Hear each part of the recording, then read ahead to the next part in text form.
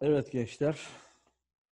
10. sınıf 31. fasikül ekonomik faaliyetler konumuzla derslerimize devam ediyoruz. Ekonomik faaliyetler insanların temel ihtiyaçlarını karşılamak ve gelir elde etmek için yaptığı faaliyetler olarak adlandırılabilir. İşte örneğin temel ihtiyaçlarımız nedir? Barınma, işte inşaat yapıyoruz, beslenme, ekmek başta olmak üzere bir sürü gıda üretiyoruz. Gelir elde etmek için de fabrikalarda çalışıyoruz. Bunların hepsine biz ne diyoruz? Ekonomik faaliyet. Geçmiş dönemlerde önce avcılık ve toplayıcılık. Erkekler avcılık, kadınlar toplayıcılık yapıyordu. Ne zaman? Paleolitik çağda. Ardından Neolitik dönemde insanlar yerleşik hayata geçiyor. Tarım ve hayvancılık ekonomik faaliyet olarak karşımıza çıkıyor. Sanayi devrimiyle beraber İngiltere'de gerçekleşiyor. Kömür ve demir madeninin e, yürürlüğe girmesiyle beraber üretimde artış oluyor. Çünkü fabrikalarda seri üretim başlıyor. Buharlı makineler bulunuyor. Demir yolları yapılarak ulaşım yolları çeşitlenmesiyle artık buradaki ürün ne oluyor? Demir yollarıyla daha geniş alanlara gitme imkanı bulabiliyor. Günümüzde ise ülkeler ve kıtalar arasında ticaret potansiyeli artarak küresel ticaret önem kazanmıştır. Artık e, bazı ülkeler yoğun üretime geçmiştir. İşte otomotiv sektöründe Almanya, Japonya, ABD teknoloji olarak da bu ülkeler ön plandır. Bu ülkeler ne yapıyor? Diğer ülkelere teknoloji ihraç ediyor. Türkiye elde ettiği tarımsal ürünleri de ne yapıyor? Rusya başta olmak üzere diğer ülkelere satıyor. Yani her ülkenin yaptığı ticaret faaliyet farklı olduğu için her ülke her ülkeye farklı ürün satıyor ve küresel ticaret bu şekilde başlıyor. İnsanların çalıştığı iş kollarına göre ekonomik faaliyetler de ne olmuştur? Çeşitlenmiştir. Ekonomik faaliyetlerin çeşitleri, evet birincil ekonomik faaliyet. Doğal kaynakları doğrudan kullanıldı, doğal kaynakların. Şimdi birincil ekonomik faaliyette kimleri sayabiliriz? Çiftçi, çoban, madenci, ormancı, balıkçı. İkinci ekonomik faaliyette çalışanlar ham maddelerin işlenerek yeni ürünlere dönüştürüldüğü. Yani mesela pamuk geliyor fabrikalarda neye dönüşüyor? Tekstil ürünlerine, giydiğimiz elbiselere, ipliğe dönüşüyor. Üçüncü ekonomik faaliyet ise donanım, yazılım, pardon özür dilerim. Üçüncü ekonomik faaliyet ise doğal kaynakları doğrudan kullanılmadığı ve fabrika, atölye gibi mekanlara bağlı üretimin yapılmadığı insanlara hizmet. İşte öğretmen, doktor, hemşire, turizmci, bankacı bunlar da üçüncü ekonomik faaliyete giriyor. Dördüncü evet donanım, yazılım, online hizmetleri, grafik tasarım, ağ işletmeleri. İşte e-ticaret, Amazon satışı var biliyorsunuz. Hepsi burada .com. Bunların hepsi dördüncü faaliyete giriyor. Beşinci faaliyet kamu özel sektörde üst düzey yönetimler karar verme faaliyeti. CEO'ları buna örnek olarak verebiliriz. Birinci ekonomik faaliyet evet burada açmış. Burada da ayrıntılı izleyeceğiz. Tarım, hayvancılık, balıkçılık, ormancılık, madencilik gibi. Doğrudan bakın doğaya. Yani bu direkt ham maddeyi alan insanlar. Ham maddeyi alan insanlar gelişmemiş ülkelerde nüfusu büyük bir kısmı bu faaliyetlerde istihdam. İstihdam çalışma demek, iş imkanı demek. Çalışma imkanı bulabilir. Gelişmemiş ülkelerde tabii ki sanayi gelişmediği için nüfusun yüzde 40'ı, 50'si, 60'ı geçimini tarımdan sağlar. İşte Nijerya, Bangladeş, Hindistan, Sudan, Çat gibi. Üretim az olup daha çok doğal koşullara. Çünkü az gelişmiş ülkeler olduğu için az gelişmiş ülkelerde makineleşme azdır. Ülkelerin gelişmişlik seviyesi arttıkça birinci ekonomik faaliyette çalışanın oranı azalır. Mesela Türkiye değil mi? Cumhuriyet'in ilk yıllarında %70'lerde 80'lerde olan tarımda çalışanlar günümüzde %18'lere kadar azalmıştır. Artık sanayi geliştikçe insanlar köyden kente göç ediyor ve tarımda çalışanlar azalıp sanayide çalışanlar artıyor. İkinci ekonomik faaliyet ham maddeleri ve yarı işlemci ürünleri yeni ürünlere dönüştürmeyi kapsayan ekonomik faaliyettir. İşte buğday ne oluyor fabrikalarda? Un, ekmek, püsküve dönüşüyor. Veya pamuk ne oluyor? Toplanıyor fabrikalarda elbise oluyor. Yani kullanılacak hale geliyor. Sanayi, inşaat, enerji üretimi faaliyetlerine her fabrikada her türlü işçi ve mühendis ikinci ekonomik faaliyete girer. Sanayi devrimiyle birlikte bu faaliyete çalışanların oranı artmış. Tabii sanayi devrimi İngiltere çünkü fabrikalar açıldıkça insanlar yoğun bir şekilde fabrikalara gelmek durumunda kalmıştır. İlk çağlarda çanak, çömlek malzemeleri yapımı, sanayi devriminde atölye türü imalat, günümüzde ise daha çok sayıda kişi çalıştığı fabrikalar ikinci faaliyetlerde evet yer alır. Sanayi faaliyetlerinin artışı ulaşım, finans, ticaret gibi faaliyetlerde doğrudan artış sağladığı için üçüncü ekonomik faaliyette gelişmesini sağlamaktadır. Çünkü neden? Bakın şimdi fabrikalar neye giriyor? İkinci. Şimdi fabrikalar büyüdükçe, geliştikçe, sayısı arttıkça insanlar para kazanıyor. Kazandığı parayı nereye yatırıyor? Bankaya yatırıyor. Değil mi? Banka ne oluyor? İşte üçüncül. İkincil geliştikçe üçüncül ondan paralel olarak ne oluyor? Artış sağlamış oluyor.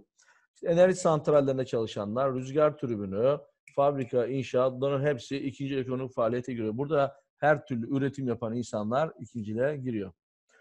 Üçüncü ekonomik faaliyette çalışanlar birinci ve ikinci ekonomik faaliyetlerde olduğu gibi doğrudan doğaya bağlı veya sanayi testlerindeki üretim şeklinde olmayıp bilgiyi kullanarak bak. Bilgiyi kullanarak. Burada önemli olan bilgiyi kullanarak topluma hizmet verme ve yaşam kalitesini yükseltme. İşte dediğim gibi öğretmen, doktor, hemşire, şoför, bankacı, postacı, özellikle eğitim, sağlık, belediye hizmetleri, ulaşım, turizm, ticaret bunların hepsi evet neye giriyor? Üçüncü ekonomik faaliyete giriyor. Ekonomik yönden gelişmiş toplumlarda mesela Avrupa Birliği ülkelerin tamamında yüzde 60 civarındadır. Yani çalışanların büyük bir oranı üçüncü ekonomik faaliyete girer. Geliş ülkelerde fazladır. İşte sağlık, işte doktor, ulaşım, işte pilot, öğretmen, eğitim, güvenlik, polis bunların hepsi üçüncü ekonomik faaliyete giriyor. Günümüzde teknolojinin kullanımıyla yaşam düzeyinin daha da artması üçüncü faaliyetleri ne olmuş? İkiye ayırmış. İşte dördüncü ve beşinci ekonomik faaliyetlerde karşımıza çıkıyor. İşte dördüncü faaliyet yazılım, donanım hizmetleri, tasarım, grafik, reklam, ağ işletmeleri, işte yazılım, IP işletmeleri, bilişim hizmetleri, grafik bunlar da dördüncü faaliyete giriyor. Beşinci faaliyet özel sektör ve kamu sektöründeki evet, yöneticileri kapsar. Dediğim gibi özellikle evet bakın CEO'lar, bakanlar, milletvekilleri, büyükelçiler bunların hepsi beşinci ekonomik faaliyete giriyor. Birinci ekonomik faaliyetlerde çalışanların oranının azaldığı ülkelerde tarımsal ve hayvansal üretim azalmaz. Bak üretim azalmaz. Çünkü artık işi kim yapıyor? Makineler yapıyor. Makine, modern tarım. Modern tarım. Mesela GAP bölgesinde değil mi? Çok insan çalışmıyor. Artık orada mesela sulamayı kim yapıyor? Büyük elektronik sulama aygıtları yapıyor. Bilgisayarda ayarlanıyor. Saati geldikçe oradaki fiskelerden su püskürtülüyor. Yani birincilde çalışanların azalması tarımsal veya e, hayvansal üretimin azaldığı anlamına geçmez. Örneğin yine hangi örneği? Mesela Hollanda'da çalışan tarımda çalışanlar ülke nüfusunun ikisi bak çalışanların oranı yüzde iki. Ama bizim 10-15 katımız daha fazla üretim elde eder. Modern tarım. Mesela balıkçı hangisine giriyor? Birincil. Demirci hangisine giriyor? İkincil. Polis hangisine giriyor? Üçüncül. Okul müdürü evet üçüncül. Bürokrat beşincil. işte milletvekili. Çiftçi birincil. Bunları evet, tamamlarsınız bu şekilde. Ekonomik faaliyetler ve gelişmişlik tabii ki bak bakıyoruz. Şimdi Kongo az gelişmiş, İngiltere gelişmiş bir ülke. Kongo'da bakın birincide çalışanlar dörtlü üç yani yüzde yetmiş üç. İngiltere'ye bakalım yüzde iki ama şuna dikkat edin. İngiltere'nin tar tarımdan kazandığı para mesela Kongo'dan daha fazladır. İkincide bakın Kongo'da sanayi yok. Ancak çalışanların yüzde beşi sanayide çalışıyor. İngiltere'de ise yüzde yirmisi çalışıyor. Kongo'da hizmet sektöründe çalışanlar yüzde yirmi bakın yüzde yetmiş sekiz artık. İşte bankacılık sektörü geliştiğinden dolayı. Demek ki gelişmiş ülkelerde üçüncüde çalışanların oranı en fazla, ikincilde çalışanlar daha sonra en az ise bak tek haneli birincilde. Türkiye ise gelişmekte olan bir ülke. Bakın %27 ikinci yıl, %54 üçüncü yıl, en az ise birinci yıl ama bunun ne olması lazım? Tek haneye düşmesi gerekiyor. İşte bunun %5'lere düştüğü zaman ama tarımda çalışanların azalması tekrar diyorum üretimin düştüğü anlamına gelmez. Buna çok dikkat edelim. Günümüzde en çok kullanılan kriterler kişi başına düşen milli gelir. Mesela kişi başına düşen milli gelir nerede fazla? İngiltere'de değil mi? Avrupa Birliği'nde 35-40 bin euro civarında kişi başına düşen milli gelir. Çalışan nüfusun ekonomik faaliyet kollarına göre dağılım. Görüldüğü gibi gelişmiş ülkelerde üçüncül en fazla, birincil en az. Az gelişmiş ülkelerde Afrika ülkeleri, Kongo başta olmak üzere birincide çalışanlar en fazla, üçüncüde çalışanlar ise en az. İkincil ve üçüncül ekonomik faaliyetleri çalışanların oranı Kongo'da azdır. Bu durum Kongo'da tarım ve hayvancılığın, İngiltere'de ise sanayi ve hizmet sektörünün en yaygın faaliyet olduğunu gösterir. Türkiye'de ise birinci ekonomik faaliyetleri çalışanın oranı azalmakta. İkinci ve üçüncü oranı ne oluyor? Bak artmaktadır. İşte bu Türkiye'nin giderek gelişen bir ülke olduğunu gösteriyor. Özellikle savunma sanayisinde çok ciddi hamlelerimiz olmuştur.